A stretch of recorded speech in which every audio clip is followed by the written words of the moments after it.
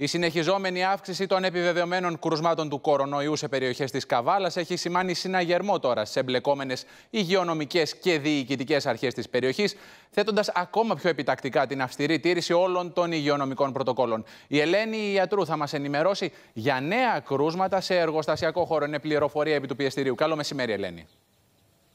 Καλό μεσημέρι λοιπόν και θα σας μεταφέρουμε στην Καβάλα εκεί όπου όπως ενημερωθήκαμε ελήφθησαν 120 δείγματα από εργαζόμενους σε εργοστάσιο έξω από την Καβάλα. Από αυτά τα 120 μέχρι τώρα τα 24 προέκυψε πως είναι θετικά. Σύμφωνα με πληροφορίες που έχουμε στη διάθεσή μας είναι καθοδόν κλίμα και οτεοδή τα οποία θα μεταβούν σε χωριά γύρω από το εργοστάσιο προκειμένου να πραγματοποιήσουν περαιτέρω δειγματοληπτικούς ελέγχους για να δουν τι ακριβώς συμβαίνει. Στο μεταξύ, ναι. ήδη για το νομό της Καβάλας, όσο για την πόλη της Καβάλας, όσο και για τη Θάσο, ο Ιατρικός Σύλλογος έχει κρούσει κόδωνα κινδύνου και ζητεί να ληφθούν άμεσα μέτρα, γιατί από ό,τι φαίνεται η εξάπλωση του ιού γίνεται τάχιστα σε μια περιοχή τουριστική, όπου από αρχές Ιουλίου άρχισαν να καταφθάνουν μεγάλες ροές τουριστών από τη Βουλγαρία, τη Ρουμανία και τη Σερβία. Θα περιμένουμε και τις νεότερες πληροφορίες για την Καβάλα. Να πάμε τώρα, Ελένη, στην Θεσσαλονίκη, καθώς τα απανοτά κρούσματα που διαπιστώθηκαν σε καλεσμένους του γάμου που έγινε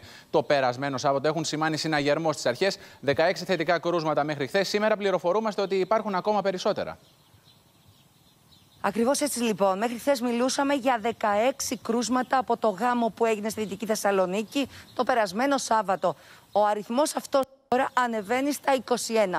Προστίθενται άλλα 5 επιβεβαιωμένα κρούσματα από το νοσοκομείο Ιπποκράτιο της Θεσσαλονίκης, άρα μιλάμε για 21, ενώ δύο νοσοκομεία της πόλης της Θεσσαλονίκης, το Παπαγεωργίου και το Ιπποκράτιο, έχουν προς εξέταση 200 δείγματα ύποπτα για κορονοϊό δεν αφορούν στο σύνολό τους το γάμο, αφού ο γάμος είχε μόλις 150 ε, καλεσμένους. Να σας εξηγήσουμε λίγο τι συνέβη. Βρισκόμαστε εδώ στο ναό, όπου τελέστηκε στις 25 Ιουλίου το μυστήριο.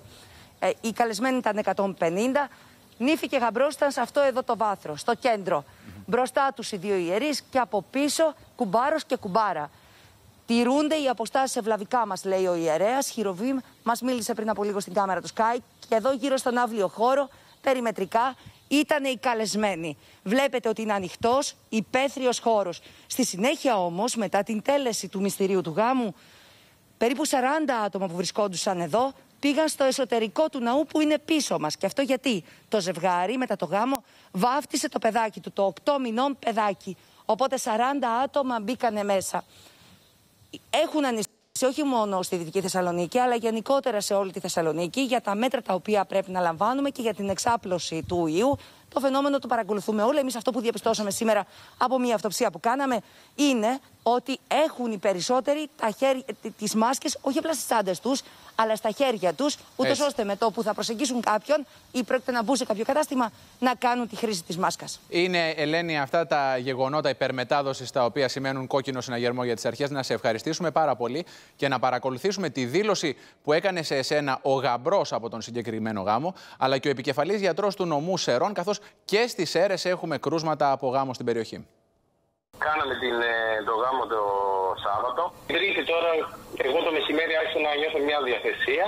Απόγευμα κατά τι 8 ε, η ώρα 9 άρχισα να ξανανεβάζω πάλι πυρετό. Ε, και το βράδυ είχα πυρετό. Η Τετάρτη άρχισα να έρχονται κάποια μηνύματα ότι και κάποιοι φίλοι μου, ας πούμε, δεν είναι καλά. Πήγαμε στο νοσοκομείο, κάναμε ίσχυε εξετάσεις και χθες το απόγευμα μάθαμε ότι είμαστε θετικοί. Φοβήθηκα, δείτε, η πρώτη γιατρή ήταν λίγο καθυσυχαστική. Οι δεύτεροι γιατροί που με συνάντησαν γιατί αλλάξανε βάρδια λίγο με τρομάξανε η αλήθεια είναι γιατί είδαν και τα λευκά μου χαμηλά, με λέει σε ομάδα υψηλού κινδύνου.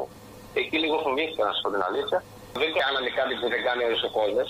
Δεν κάναμε ούτε χαιρετισμούς, είχαμε στην εκκλησία ούτε μέσα στο κέντρο ε, περάσαμε όλα τα παιδιά. Άμα είχαμε τίποτα είναι δυνατόν να κάναμε το γάμο, δηλαδή τι είμαστε τόσο αμελεί είμαστε. Το μυαλό μου δεν πάει πουθενά.